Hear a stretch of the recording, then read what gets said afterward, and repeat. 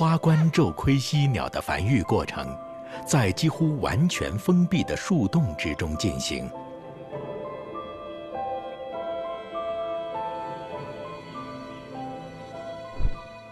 每一个树洞都来之不易，这是拜卓越的建筑家啄木鸟的辛勤劳动所赐。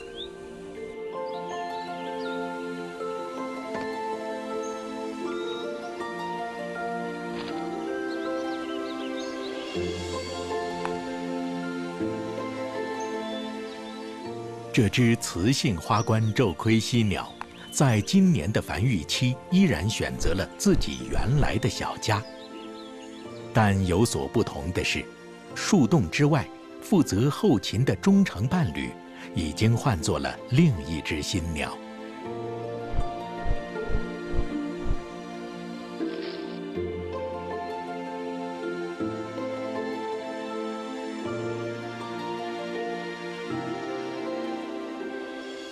两年前的意外丧偶，并没有磨灭它强韧的生命力。绝大部分雌性犀鸟在洞中只管哺育幼鸟，无暇关注洞外的世界。但这只雌性花冠皱盔犀鸟却与众不同，每隔一会儿，它便要向洞外张望，将喙部伸出洞外，发出询问的信号。只有等到了伴侣的回应，它才会放心地将自己的注意力放回树洞之中。久而久之，就连洞中的幼鸟也都学着母亲的样子，将稚嫩的嘴巴伸出洞外，似乎在探查自己还未曾正式谋面过的父亲。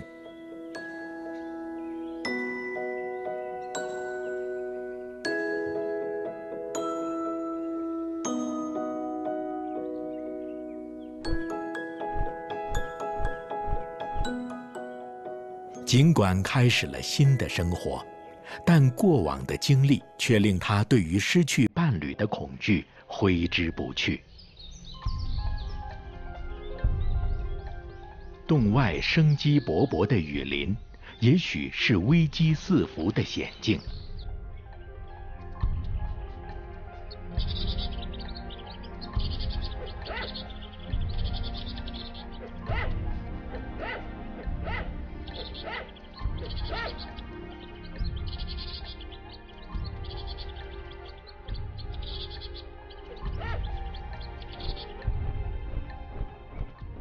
忙碌的雄鸟似乎也觉察到了伴侣的不安。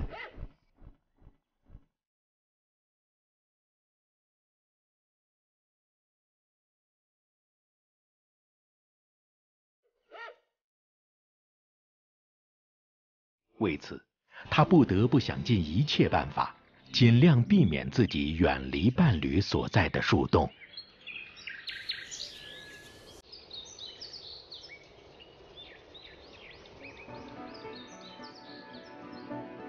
如此一来，捕食的压力便会愈发沉重。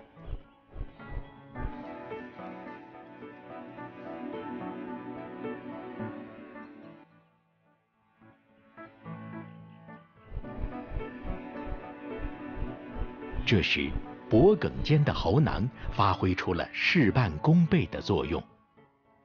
它是全家的购物袋，每一次远行捕食。雄鸟都会将自己的喉囊装满，不论是野果、昆虫，还是体型较小的蛙类，都可以被喉囊一股脑打包，成为足够一家三口享用的营养美食。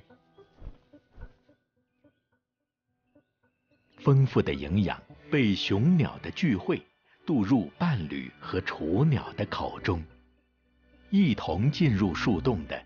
还有这个全新的家庭之中产生的爱与羁绊。